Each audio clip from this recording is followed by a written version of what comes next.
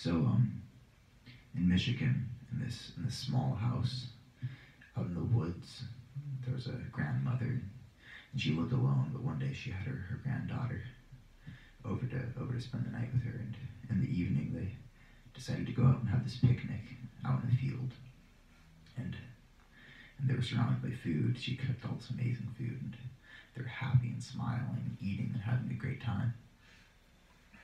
And um, and suddenly just this rain starts pouring and pouring and pouring down, and and and they have to go home because their food's getting all wet, and they just they can't be out here anymore. and They're sad and downtrodden. As they're making their way home, suddenly to the east, they look and they see just this, just this great tornado in the distance pulling fast towards them. And the daughter starts screaming, Tornado, tornado, what, what are we going to do? And the grandmother says, Don't be scared. I'm with you. I'll never leave you.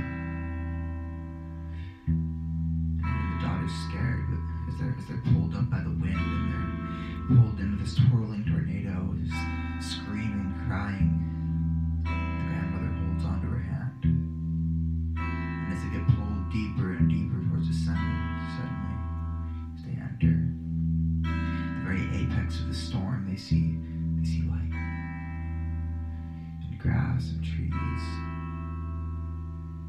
And it's a happy place. They're happy.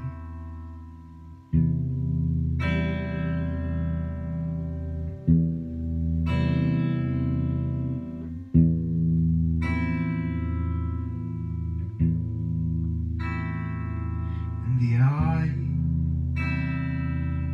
of the storm we hide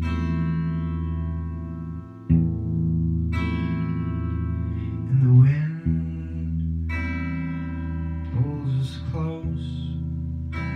We are flying. And in years we drop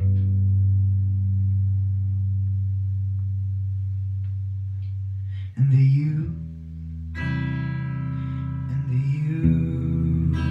We are trying.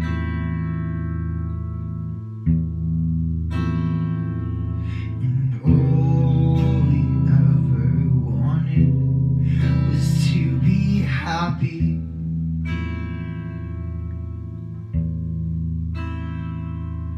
Where we are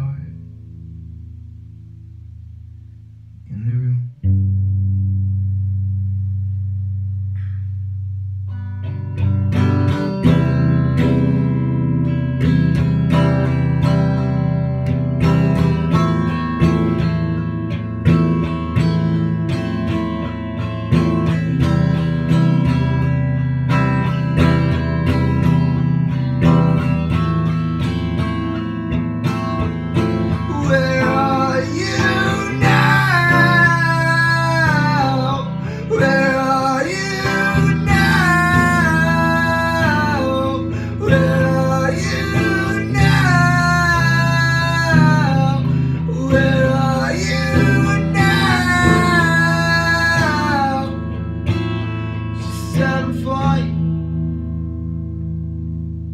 You're not alone. Don't feel that way.